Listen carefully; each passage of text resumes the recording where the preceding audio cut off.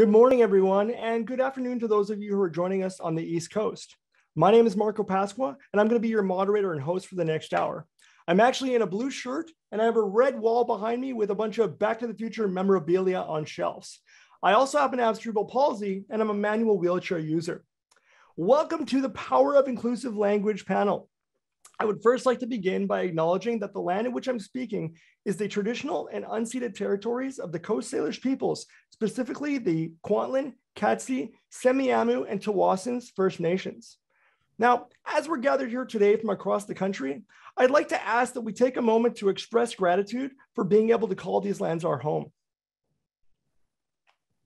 Now, today is the annual United Nations International Day of Persons with Disabilities, a day to promote understanding of disability issues, and mobilize supports for the dignity, rights, and well-being of persons with disabilities. Today is also an opportunity for us to increase awareness of how our world can benefit from the equitable inclusion of persons with disabilities in every single aspect of life, which I know is super, super important to me. Now, this year's theme of the International Day of Persons with Disabilities is leadership and participation of persons with disabilities towards an inclusive, accessible, and sustainable post COVID world. And I know we're all waiting for that. And that is why today we're bringing together leaders, advocates, allies, and uh, different individuals in the disability community to speak about the power of language and how words actually matter. Now, I want to be clear our aim is not to create an army of language police. In fact, our hope for this session is that everyone will learn a few new words to add to their vocabulary and obviously have a heightened uh, sense of how personal and powerful that language that we use actually is. So, I personally would like to thank the Rick Hansen Foundation for hosting this event today. And of course, Mr. Brad McCannell, the VP of Access Inclusion at the foundation, who was unable to make it with us here today, but I'm honored to be speaking on his behalf. Thanks, Brad. I really appreciate that. This event means so much to me because we're literally giving a voice to people who directly live and work within the disability community. And I think that we have to have more forums like this. We have an incredible group of people here today. So, on behalf of the Rick Hansen Foundation, I want to express my sincere gratitude to our panelists, Christine Selinger, Meghan Kelley, Monica Ackermann, and Wissam Constantin. Now, before the panelists introduce themselves, I would like to let you know about a few logistics of the event itself. So, all attendees have been muted by the host. Now, to turn on captions, please use the CC button at the bottom of your Zoom bar. And you can also use the subtitle settings to increase the size of the subtitles that you're viewing, or you can view them in a separate window by clicking on the link in the chat window that we have. We also have ASL interpretation, and the chat function has been disabled so that we don't distract the panelists. But that's totally fine because I will facilitate a 15 minute Q&A session at the end of the session, but feel free to submit your questions as we're going throughout uh, using the Q&A feature at the bottom of your screen. Okay, questions will be posed to the panelists at the end, as I mentioned, and any that we don't get to will be answered and sent via email by the Rick Hansen Foundation following today's session. And lastly, maybe most importantly, this event is being recorded and a link to the recording will be sent to all registrants by email by next week. Now, a couple of notes for the panelists themselves. Okay, we do have a live captioner with us here today. So I ask that we all do our best to speak clearly as possible as it helps the captioner as well as the ASL interpreter. And as a fast talking Italian, I can tell you that is difficult for me. Okay, but I will work on that. In addition, please use the raise hand feature function when wanting to add into the conversation. So the next hour is going to be action packed. So without further ado, I am pleased to hand it over to Wissam to commence with the introductions. Take it away, Wissam.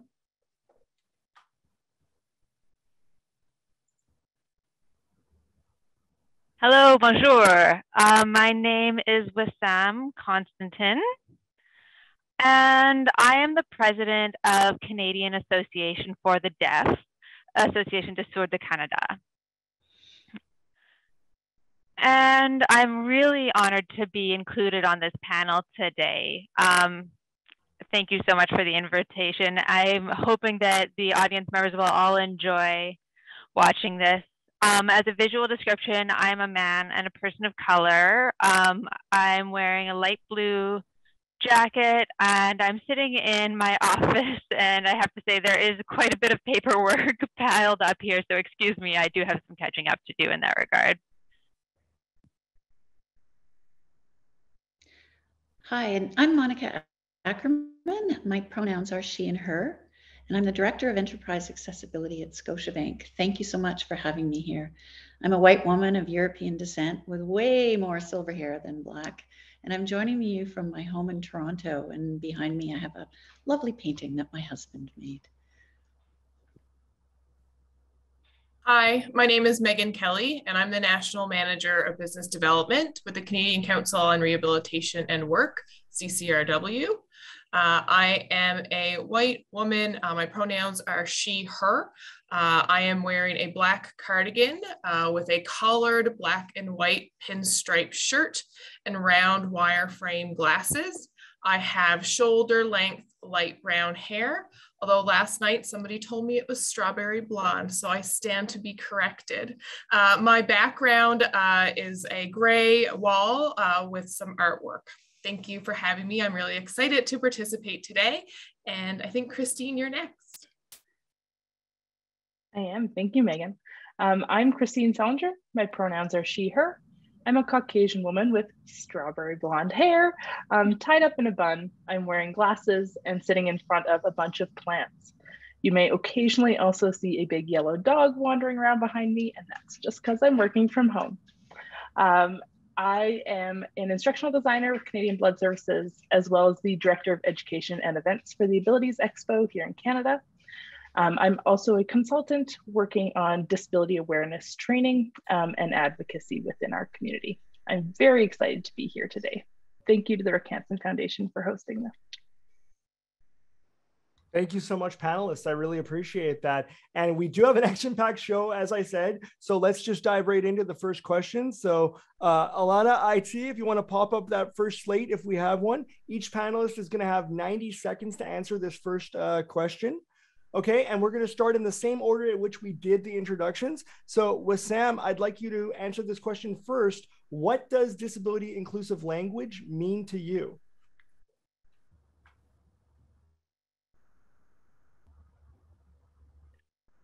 Um, in terms of disability inclusive language, um, maybe my answer will not be quite what you are expecting to hear, but um, because generally when people um, in most of society think about disability inclusive language, they're thinking about particular words that they're hearing or seeing or reading. But the word language itself actually has a lot of diversity that can um, be included in it. It might include gestural language, might include drawing, and it might include sign languages. So I would really like to spotlight sign languages in my answer today because there are so many misunderstandings that people have about what sign languages are. Um, many people believe that sign language is universal and that there's one sign language used all over the world, but there are so many. Just as there are over 300 different languages that are spoken, there are also over 300 different languages signed around the world. Generally, um, each country or region might have their own uh, particular sign language with its own structure and grammar that is used by deaf people in that region. Um, so I would just like to really highlight that sign languages are um, important and that they belong to the deaf communities that use them um, and that each deaf community will have their own culture as well. So that is my answer with that question. Great. Well, Sam, thank you so much. And that's an eye opener, I think, for a lot of people. They often forget that sign language has so much diversity behind it as well. Um, Mon- uh, Monica, over to you. So, for me, disability inclusive language really is about putting the person first, being human centered, and acknowledging that disability really is an individual lived experience and, a, and, a, and an integral part of a person's with uh, identity. That it's, but disability is not the only thing that defines us and defines them. And inclusive language really goes beyond just the word or the phrase used to describe a disability or a person with a disability. To me, it extends to the stories that we tell and the narratives we create. Does the language perpetuate bias and stereotypes, or does it foster understanding and connection? Do the stories that you tell or share on social media depict people with disabilities as heroes to be admired or victims who need help and pity? Or do they celebrate both the uniqueness and the everydayness of the human experience? These, to me, are some inclusion decisions that we are empowered to make each and every day. Yeah, I like that, Monica. I also love that you kind of mention about like not necessarily placating people with particular stories, right? does that highlight them in the best of light? So to remember that, even though you may be inspired by a certain thing, uh, is what you're saying is inspirational um, could potentially be perceived as offensive. So it's important to think about that with language. Um, Meghan, over to you. Thanks, Marco. Uh, disability inclusive language, uh, you know, means to me a lot of things, but I think the recognition uh, that we need to have, or that I have, is that language evolves over time uh, and that the context and understanding that we have today uh, we need to allow for that to change as we as we learn as we grow uh, uh, and as we you know respect you know the others around us and and the choice in terms of the language they choose uh, in terms of identity. Um, you know you, i think starting from a place of best practice in the recognition of language that's used within legislation or through the un and the convention of rights of persons with disabilities is where we start uh, but that that is not the place that we stay. Uh, when we interact with individuals with lived experience uh, and that we're respectful of their choice uh, in terms of language and identity, um, and that that choice of language is what is the most inclusive piece, I think, to pay attention to. Yeah, thanks so much, uh, Meghan. In fact, you know, I know that the Rick Hansen Foundation is a huge proponent of person first language, but sometimes people uh, prefer identity first, right? So it's important to ask the person and respect uh, their choices. And last but not least, for this first question, Christine, take it away. Thanks, Marco. Um, and thanks for that note there. Um, I didn't include it as part of my introduction, but I identify as a disabled person, specifically putting disabled first. I'm a wheelchair user. Um, but in terms of inclusive language, to me, inclusive language across the board is both thoughtful and deliberate. Um, and I say that on purpose because I know that language is difficult to change. Um, you know, you you'll say things, things will come out your mouth before you've realized what you've said. Often, um, I'm definitely guilty of that. Um, and so we're not here today to tell you that what you're doing is wrong or that you're a bad person if you use certain language. Not at all. We're here to like provide awareness of the impacts of language, to talk about what language means to us, um, and to give you some insight into how you can change it. Um, so it's thoughtful in that thinking about what you're saying before you say it and thinking about the impacts of the community before you say it and deliberate in that if you catch yourself about to say something that could be considered ableist, that you consider a different way to phrase it um, or consider what you're saying instead. Um, so thoughtful and deliberate. I fully agree with you. I think it comes down to intentionality. If someone is not intending to be malicious, then that I think it needs to be taken into account. Okay, moving on to our next question.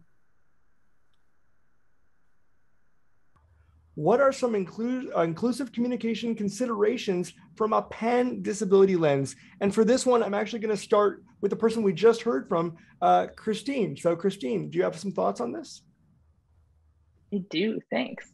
Um, now, I know this question sounds like a mouthful um, or a lot to kind of wrap your mind around, um, but it's a lot coming back to what Wissam said at the beginning. It's considering disability for all that it is.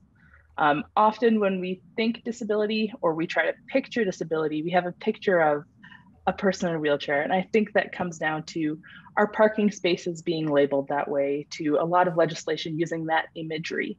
Um, and unfortunately, fortunately, unfortunately, I don't know. I love my wheelchair, but we make up a very small portion of people with disabilities. And so when we're thinking about language, when we're thinking about disability, we need to think beyond mobility aids and beyond mm. people who use wheelchairs. Um, so that includes, as Wissam said, um, people who speak in sign language. Um, that includes people with mental health diagnoses and includes, you know, any number of disabilities in there. Um, it's often forgotten that the most used um, accessibility aid in the world are glasses, which I also uh. happen to ah. wear. So when we consider disability as this enormous umbrella term, um, we need to consider it beyond just maybe what first comes to mind for you um, and consider the whole population. Yeah, you know, it's funny. I often think about what Brad McCannell says, the VP of Access Inclusion at Rick Hansen. He'll say that Rick did too good of a job on his Man in Motion tour because that's what people associate is that wheelchair. But there are so many other things, especially as us as RHFAC professionals, that when we're assessing an environment, we have to consider it from all lenses, even those that extend beyond our particular disability or abilities, right? So, so, so important to consider that. Um, Meghan, how about you? Do you have you have thoughts on this? Oh, go ahead, Christine. Did you have something Sorry, else one more thing. Yeah. Um, yeah. Also, just to include that uh, disabilities aren't segmented, um, and I emotion to my glasses as I said that, but um, people can have more than one. So when thinking about one disability, you can't just also exclude others. So just remembering that there's a whole population of us with all sorts of stuff going on, and everything is unique. That's a that's a great reminder. That's an absolutely great reminder. Um, Meghan, I believe you have some thoughts on this as well, and and maybe because I, I know that you're a service provider too, so potentially your answer might have something to do with service providing as well. Yeah, absolutely. And, you know, when we look at communication from a, a pan disability or cross disability lens, it's important to recognize that, um, you know, communication over the last 18 months has significantly changed, uh, I would say, from a service provider perspective, uh, from a business perspective, in how we engage and, and speak and meet with people.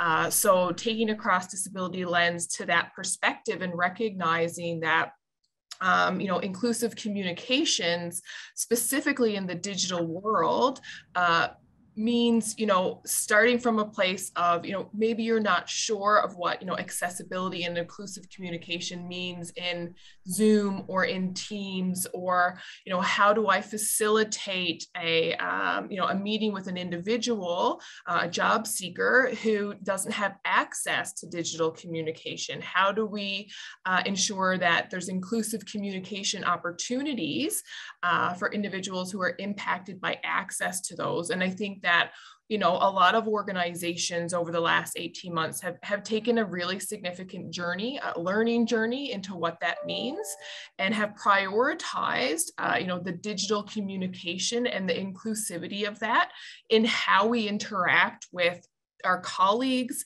uh, you know persons with disabilities who we're uh, advocating for or supporting or working with to ensure that we're starting from a place of yes, uh, that we're going to ensure that we're providing accessible and inclusive communication opportunities, uh, but that we're learning as well.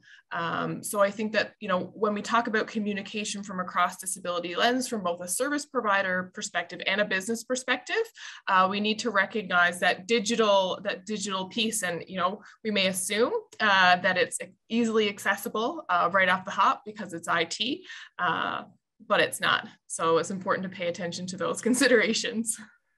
Oh, wow. That is so huge, actually. And so, service providers, we're calling to you. Make sure that you are considering alternative formats for the materials that you provide. You may be unintentionally screening out potential candidates that could come work for your organization simply because your documentation wasn't inclusive, or potentially even somebody couldn't use it for, with a screen reader or other technology that you might not interface with on a day to day basis. That's a, that's a really powerful statement as well, especially for service providers. And Wissam, I think that you have uh, some thoughts to close out this question. So I'll, I'll pass it to you.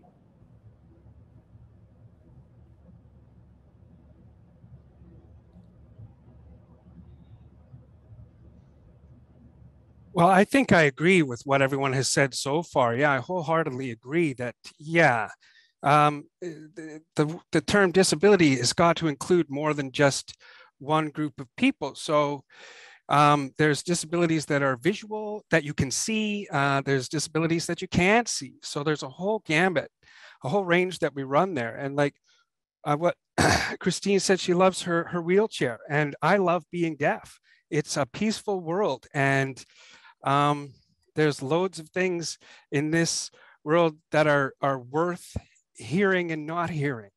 So uh, for me, I love it, and I think it's important that we remember this world. Uh, this it continues to change. So uh, lots of words, lots of communication, ways of communicating. Um, have been and you know in the 1900s have been appropriate what were no longer appropriate in the 50s and then what was inappropriate in the 1900s um, you know and then they swapped they swapped you know vice versa became appropriate again in the 50s so we have to remember that this is always changing and we have to keep our minds open. We have to continue to learn. We have to continue to engage with each other. Uh, so what's acceptable now today may not be acceptable again in a year. And so and and vice versa. So we have to just continue to keep uh, an open mind and and and don't think that it's it's ever going to be finished that oh finally we're there um, it's something it's continued and it's something we have to continue to work to accommodate and so i want to emphasize that you know i'll ask like I'll use my disability, for example. Um, within that, there's um, a whole bunch of variety. There's people who who prefer lip reading, who prefer signing, who prefer reading and writing, who prefer to use an interpreter. So it's not just one experience. I mean, uh, you you have uh, one experience with one disabled person. It doesn't necessarily mean that all dis- disabled people are going to be th- like that person. You have to ask. You have to, and it's not up to them to make that accommodation. You have to ask, and you have to make the the effort to accommodate. Thank you. Yeah, I think that people do have to take responsibility for that. And as you say, um, you know, this is ever evolving. This is something that we have to recognize is going to change from year to year and from person to person. Uh, I know that I'm not one of the paddlists, but as a person with a disability, I can say I don't like terms uh, differently able or diverse ability personally because I'm proud to be a person with a disability. I'm proud to be part of the disability community. It is a community for me. Uh, but that is not necessarily that every single uh, person that's out there you know likes those terms so we can't make that assumption right so um, but i think it's a really good reminder to stay focused on that and to know that you can just ask if you're unsure or uncertain of things most people won't take offense by you asking the question Okay, we're moving on to question number three. Is there a time uh, you experienced inclusive language? Speaking of inclusive language, uh, and what impact did it have on you? And I think I'm going to start on this one with um, Monica. So, Monica, do you have some thoughts on this? Uh, have you heard of inclusive language being used? And, and yeah. So this one actually caught me by surprise as I was uh, getting ready for the presentation. Um, uh, was harder to answer than I thought. The more I thought about it, the more uncomfortable I became. And, and that's because as a, a white Western woman who currently doesn't identify as having a disability, I recognize the privilege that I have. And I thought, is my voice really the one that's supposed to be heard here? You know, is it appropriate for me to be really telling my story? And so, like in the discomfort, I was thinking, okay, what's my perspective? What's my role? And and I came to the place where it really is as an ally and an advocate and an influencer. And at Scotiabank, I work, uh, my team and I, we work uh, to advocate for the need for accessible and inclusive practices uh, so that our customers and our employees with disabilities are treated with the dignity and, and the respect that they deserve. And a big part of the job is to foster a culture of inclusion. And so I came at it from that that perspective, and uh, real and really it's the, the experiences that really make me do a happy dance are when I hear others make disability inclusive language part of their vocabulary and their work and I start to see the culture change happen. And so, you know, there's a couple of examples. So when uh, a colleague reached out after a diversity and equity presentation that generally doesn't include disability, spoke about disability from uh, an intersectional lens. And they said, you know, I feel safer um, and I'm more able to claim my identity at work. Or when a design team used an example of feedback from a customer with vision loss to showcase the work that they've done with us, what they did around improving font size and color when they were building the app. Or even yesterday at our International Day of Persons with Disabilities event, our executive champion spoke about um, uh, accessibility as a human right, powerful words, and how we view disability through a social model lens and are working to um, build products and services that are accessible by design. So all that language is about empowering and inclusion. And so it's all those moments like that that I can truly see like the positive positive impact of uh, disability inclusive language. No, thank you for being vulnerable and honest about your role and how you thought that you ne- didn't necessarily have a place to answer the question. But I feel that every single person has a place to answer these questions from their own perspective. And that's really, really important. Uh, Christine, I know that in the work that you do, uh, sometimes uh, and in your personal life, you may have impacted this as well, especially as a wheelchair user. So I'm so curious on uh, when inclusive language has been used for you and the impact that it has. Thanks, Marco. Um, I have two really everyday examples, and I'm going to use them because they're everyday examples. Um, and they had tremendous impact on me, but in a way that I didn't notice I was missing from a conversation until it happened. Um, so the first was, um, as anybody with a mobility challenge um, would know, trying to go out for dinner or trying to go out in public at all, you have to ask a lot of questions about access. And when my husband and I had first moved to Toronto, uh, we live in Calgary now, um, but when we first moved to Toronto, we were trying to find out what in our community was accessible. And usually you make the phone call and say, Hi, are you wheelchair accessible? And you get in like, Oh, um, uh, e, uh, mm, uh, let me ask somebody. Um, and uh, and it's just sort of normal. You're used to it. Then you follow up with specifics on the bathroom and things like that. And we had called one pub um, and they just like, hello, are you wheelchair accessible? Yep. And then they just listed off how they were accessible. No step at the door, buttons, the door wow. opens out, the door on the stall opens out. And I, I was totally unprepared for somebody else to be prepared for the question.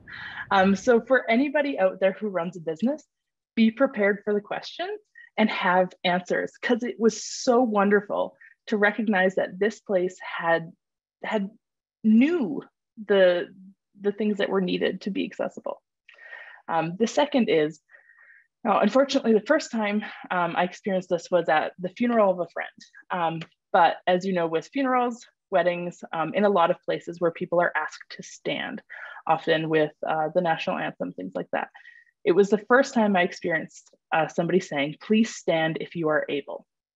And that those if you are able at the very end mm-hmm. Was so tremendously impactful because it included me.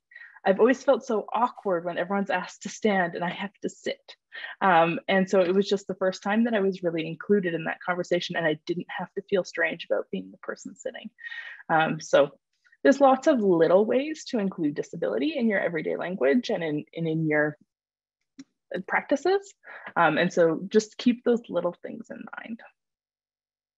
Yeah, no, fantastic. And in fact, I'm the type of guy that uses humor in awkward situations. So when people would say, please stand, uh, you know, as a kid, I would just raise both my arms up and wave them around and, you know, make sure that people knew that I wasn't being rude by not standing if they thought I was in a stadium seat or something like that. And your point around, um, you know, restaurants and things, my wife and I are an inter-able couple. And so she always calls ahead and asks uh, for certain restaurants if it's going to be, you know, accessible. And they'll say, absolutely it is. And they meant it on the main floor. Once you get up the 10 stairs that you have to get up, then I can have access to the washroom and all these things. But that person walks up that flight of stairs on a daily basis and doesn't even think about that flight of stairs. So it's really important to check those things in your mind before you give information. We take all the time to get to that restaurant only to find that flight of stairs, right?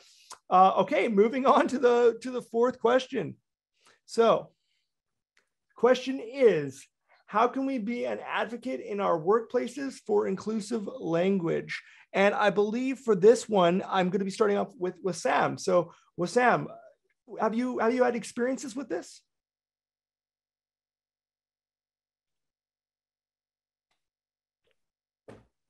Well, to um, start my answer, I would just like to ask um, when you're asking this question, who are you directing it to as we? I'd like to know, do you mean we as Rick Hansen Foundation or we general people in the community, um, employers, workers in general, people with disabilities themselves? Um, I just in terms That's, of framing my answer, figuring out who we is is the first challenge. I think um, I think we as a society, we in the how can we advocate uh, individuals with disabilities in our workplaces? So for your individual selves in the workplace, how can you advocate for those things?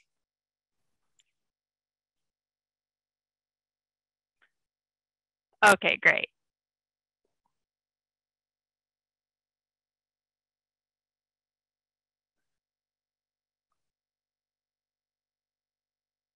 Well, um, I've heard it said that people with disabilities are not born to live, they are born to advocate. And when I think of that, um, I just think that's absolutely unfortunate and true because we spend so much of our daily energy educating and explaining how our what our needs are.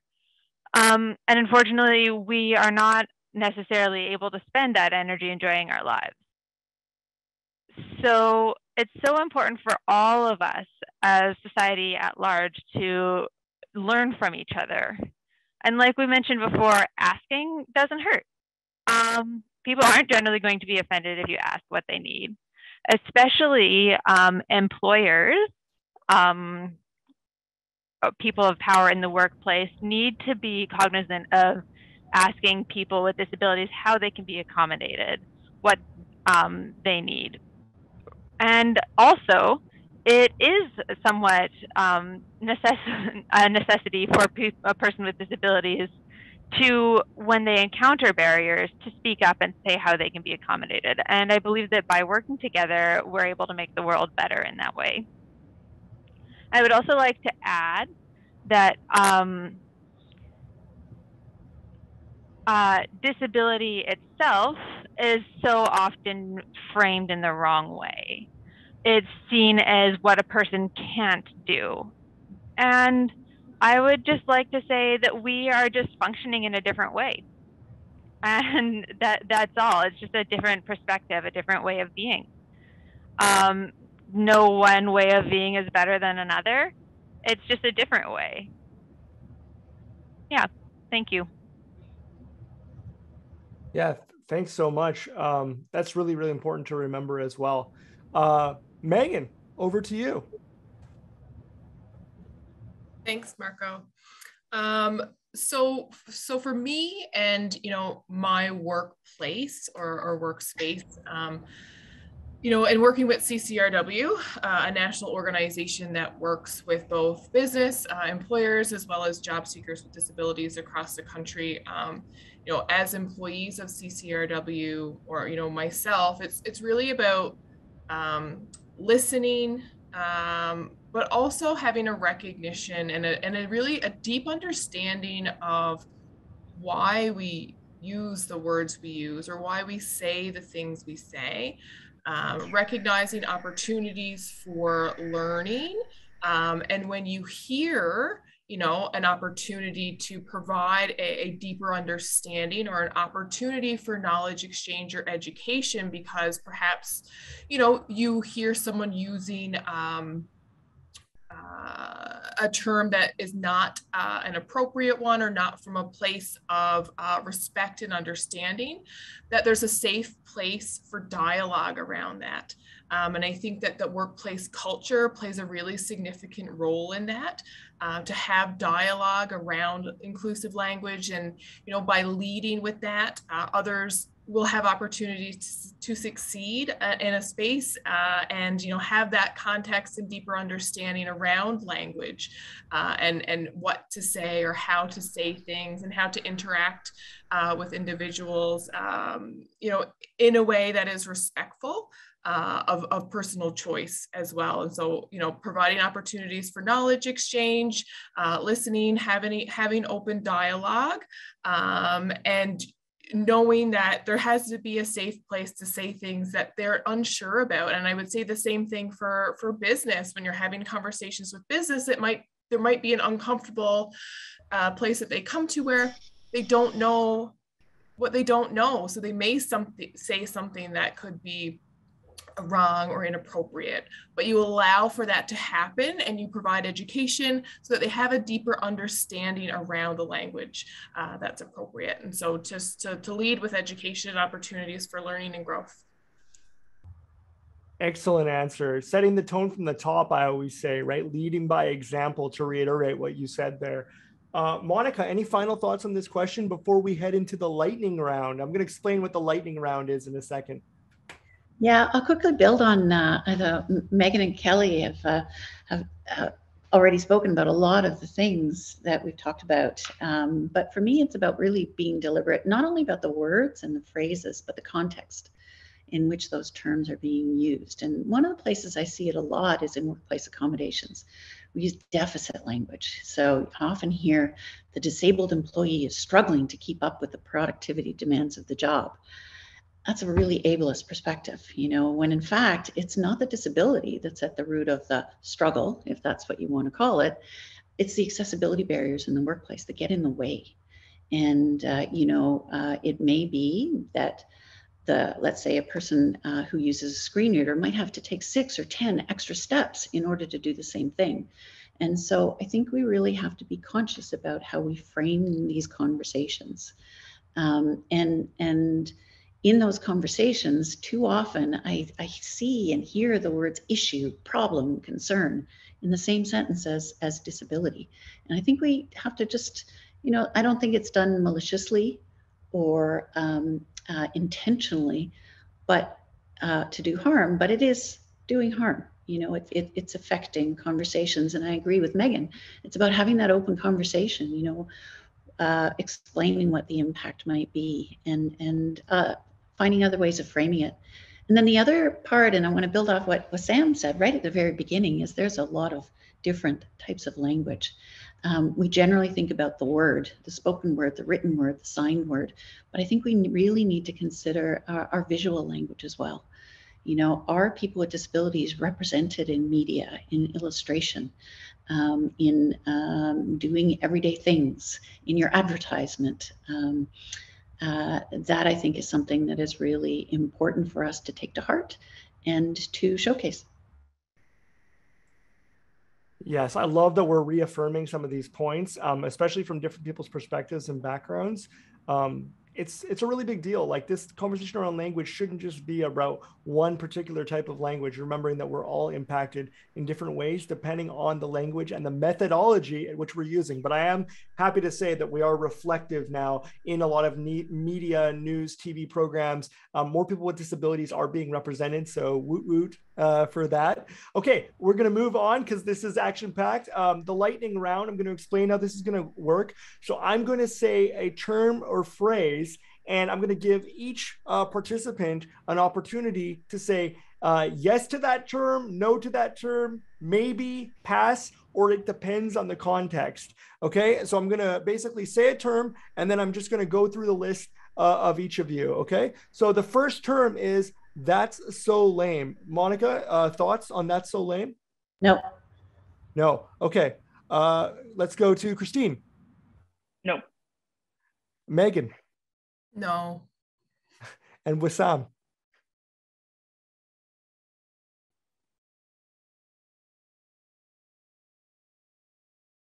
Pass. Pass. Pass. Okay. Absolutely pass. Uh, next term, handicapped parking spot handicap parking spot. Uh, again, Monica. Nope. Christine. Nope. Meghan. Hard no. Hard no. Uh, and Wissam. Pass again. I, I, I personally, I want to speak up on this one. I say no to this term as well. Um, uh, that's that's a personal blind spot. Ooh, that's interesting. That's a personal blind spot. Monica. Uh, it depends. Okay. Uh, Christine? No. But I will add, oh, yeah. hold on. Uh, there's a way to change it if you want to say that's a personal blank spot. uh, removes the disability from the language. Nice. I, I like that. I like that a lot. Meghan. Uh, yes to what Christine's statement was.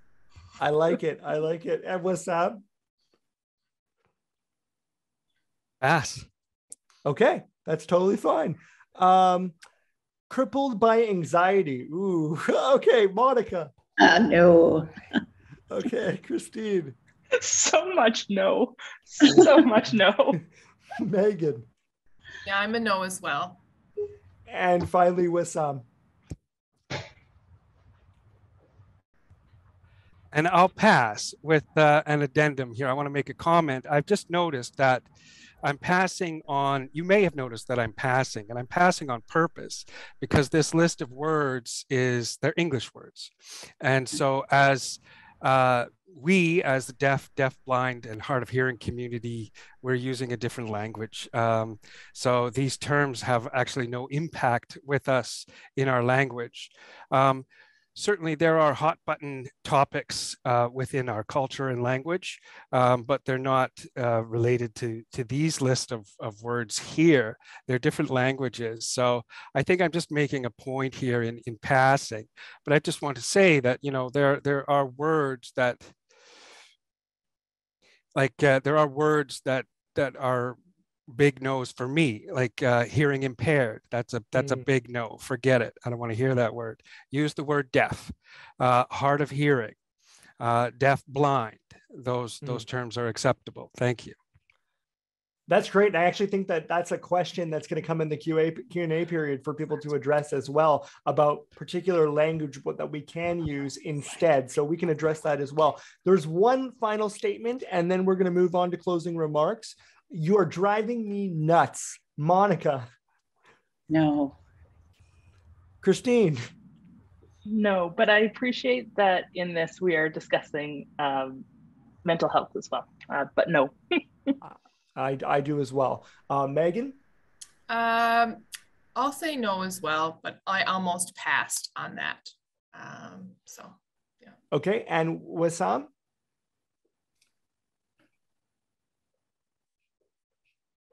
It's it's a strange uh, turn of phrase for me. Um, uh, I think I'll have to pass again. Okay, and I I don't know if this matters to everyone. For me as the host and a person with disability, but I would say that one depends on context for me personally. Um, but yeah, uh, okay, so now we have 60 seconds for each of you to give any closing remarks, any burning things that you thought you didn't get off your chest in this initial official portion of the panel section, and then we're going to move on to uh, the Q&A period. So for the closing remarks, let's start with Meghan. Oh, sure. I, I was surprised by that. No. Thanks, Marco.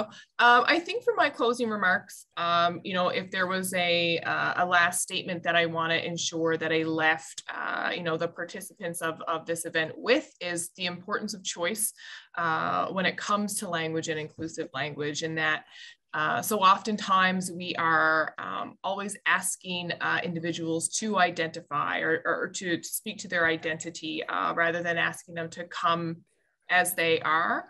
Uh, and I think that we need to do the same uh, with language um, and, and starting, I think, with what Christine said uh, as we started this conversation uh, around the importance of intent uh, when it comes to language. So that's sort of what I would leave. Uh, leave with my my final thoughts would be that so choices and intent for sure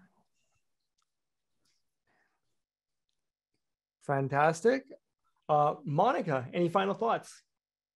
You know, I, th- I, think that there were there were so many points that uh, really built upon each other, and uh, what I get out of this conversation is I've learned, um, uh, and that I can take back from this conversation how I can change how I engage, you know, and how how I communicate directly. And I think that the more opportunities that we have to have this dialogue, we're just going to, you know, we, we have, have, may have a common goal, but we're all coming at it really differently.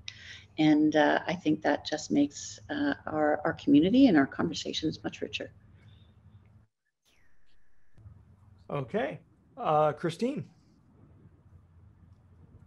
Thanks, Marco. Um, there's so much rattling around in my head that I'd like to say, so it's really hard to do this. But um, first and foremost, I just want to say when it comes to language, um, etiquette, anything around um, disability, the people to listen to are people with disabilities. Um, and so I just want to reiterate that, but also that no one of us can speak for all of us. So uh, I can tell you about my experiences with disability, but somebody who has exactly the same disability as me may identify in different ways, may use different language. So there is no one size fits all for all of us. Disability is an incredibly broad umbrella term. Um, and so make sure that you're engaging with individuals and finding out what their preferences are when talking to them. And when they tell you something about their identity, when they tell you um, how they prefer to be referenced, believe them, don't correct them. Wow, that's powerful. Absolutely. Mm-hmm. And of course, last but absolutely not least, Wissam, any final thoughts?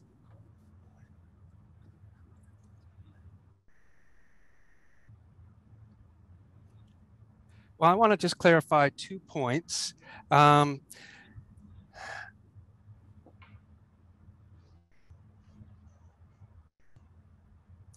I just want to distinguish between two points.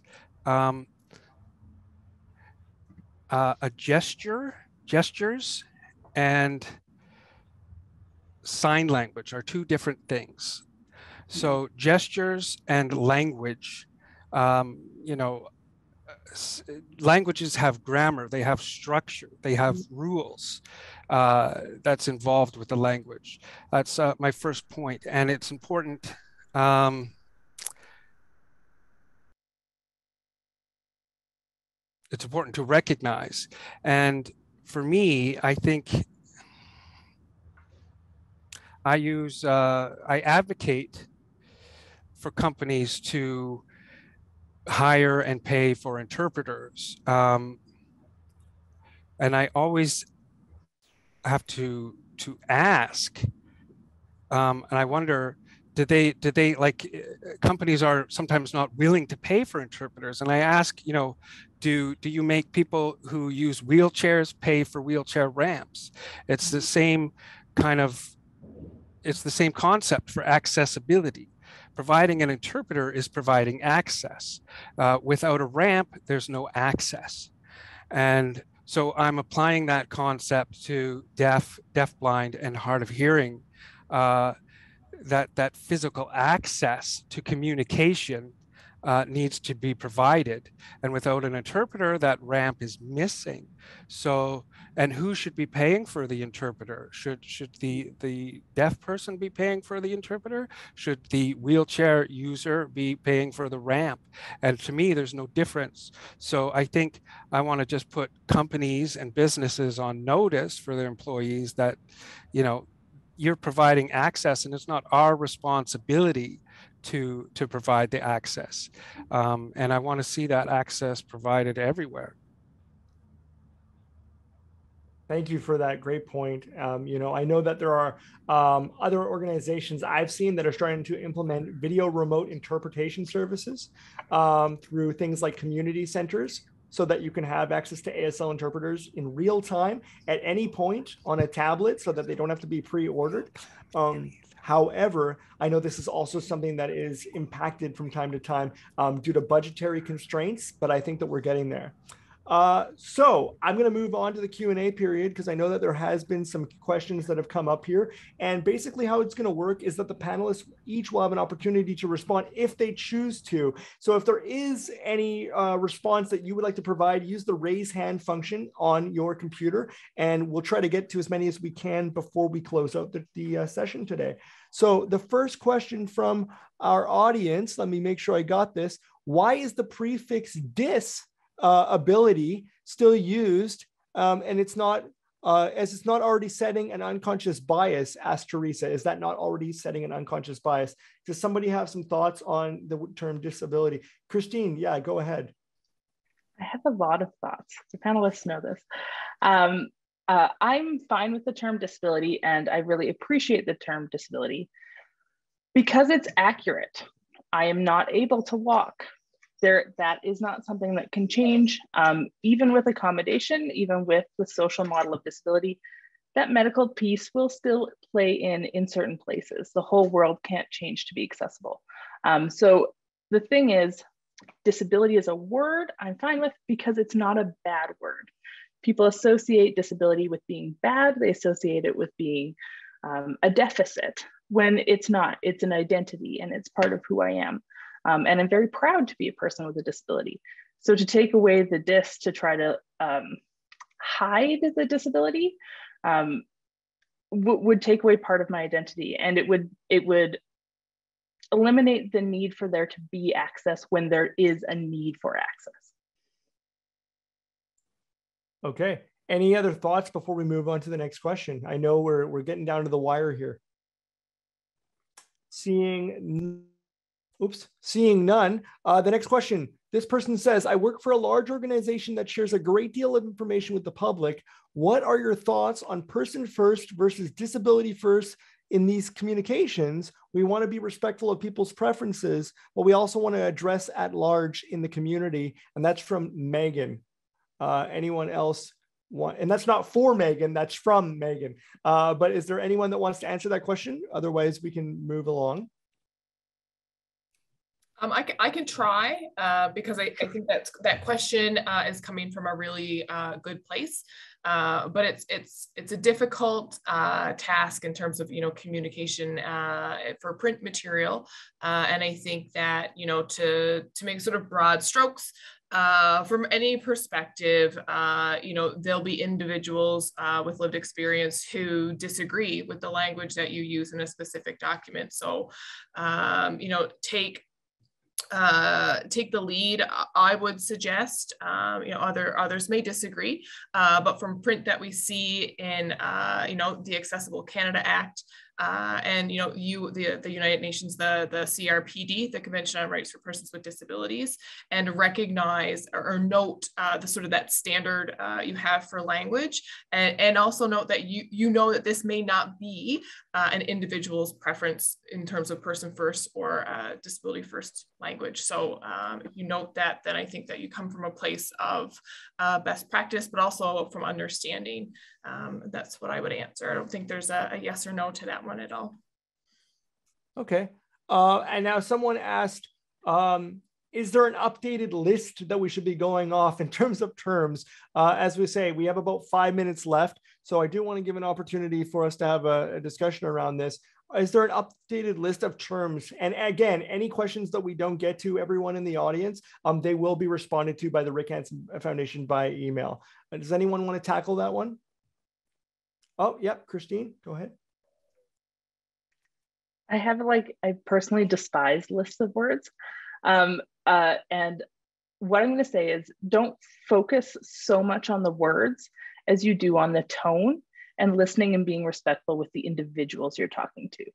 Um, when people ask for lists, they're often looking for a list of diagnoses. And not only is that difficult to compile and very long, um, also, a person's diagnosis doesn't really matter in terms of access. What matters is the access. Um, so providing ramps, providing interpretation, providing tactile reading, um, anything along those lines just makes it inclusive for everyone. What matters is the inclusion, um, not the specific diagnosis. Um, and so not a big fan of lists to start with. Um, if you're talking to an individual, respect what that individual has to say about themselves and their disability. Great. Thanks for that answer. We do have a uh, question that just came in directly for um, Wissam. Um, oh, sorry. Actually, yes, this is Wissam. I would like to add something. Oh, of course. Yeah. Um, on this previous point, if you don't mind. Of course. Um, I agree 100% because a list of words doesn't change anything. Attitude will make a difference um, you know, a person can say all of the right words and still not have the right approach and the right tone and the right attitude. So just a, a list of terms doesn't make a change. It depends on a person's perspective and how they view the issue. Um, and that will go much farther than just keeping an updated list of acceptable terms. I, I fully agree with you, Wissam. Um, intention and attitude goes a long way. And in fact, I was just about to throw it to you anyways, so that we could hear your voice on this one. And this is the question we'll end with everyone. Um, so the other ones will be answered later. Wissam, does uh, Canadian Association for the Deaf, I assume, because it's CAD is the person using this, Canadian Association of the Deaf, use the term disability in its communications? They say, my deaf friends identify as minority language users. As a librarian, I highlight books by and about people with disabilities and wonder about including people who are deaf when I do so. And this is by Randy. So maybe final thoughts on that, Wissam.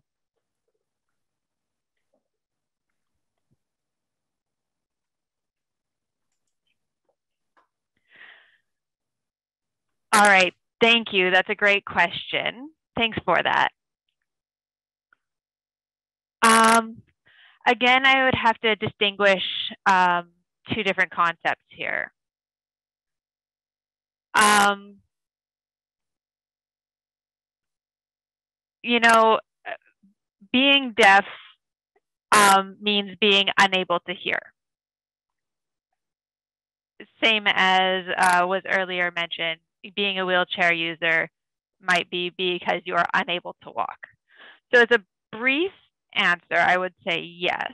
And the interpreter's just having a hard time seeing Wissam. So we're just going to pause for a quick second here.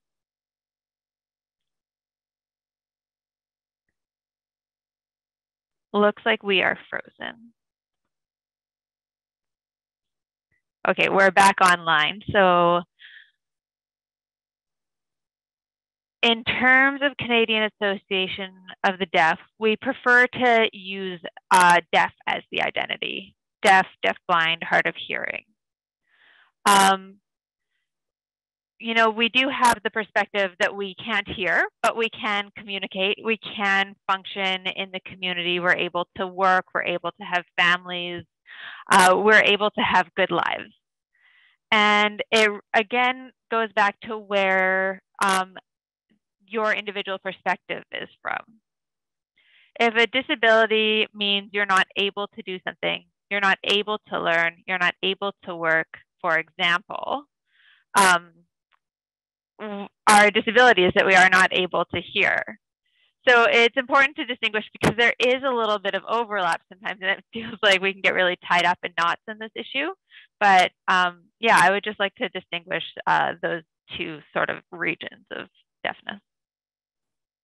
Thanks so much, Wissam. And thank you so much to everyone involved. I can't believe it. This hour has flown by. I don't know about you, panelists, but it has flown by me as the moderator of the conversation. I got some key takeaways here. I was taking notes throughout while moderating, so I'll do my best here to summarize. Um, language is always evolving, um, you know, so um, there's a general theme that we heard throughout the answer. So it's always evolving and to remember that. Consider disability beyond mobility, right? It's not just about mobility issues, but there's a wide spectrum of disabilities out there. Um, disability can um, sometimes be framed negatively. So based on what someone can't do, but instead, you know, we could, you know, not use ableist language like issue, struggle, this type of thing. So instead, focus on a person's abilities. Be deliberate. Be intentional. Uh, ableist language does drive harm access is not the responsibility of the person with disabilities. I, I heard you, Wissam. You know, so let's work together as an organization and as a community to make sure that we're providing these resources and these tools for everyone. And most importantly, I drive this home in every presentation I give ask how you can best support someone um, if they require supports or otherwise if you see them struggling don't just make assumptions you know have an opportunity to have a real open and authentic dialogue with these various people so, on behalf of the Rick Hansen Foundation, I want to thank everyone in attendance. I want to thank our panelists, Meghan, Christine, Monica, and Wissam, for taking your time and energy out of today. And I want to remind you, as the attendees, that the recording will be sent out at some point later next week via email to all of you who've registered. I've been Marco Pasqua. I very much appreciate your time and attention, and any of your questions that we didn't answer will also be answered by email. Thank you so much. I hope you've learned something today. I know I have, and have a great afternoon and the rest of your day. Thanks so much.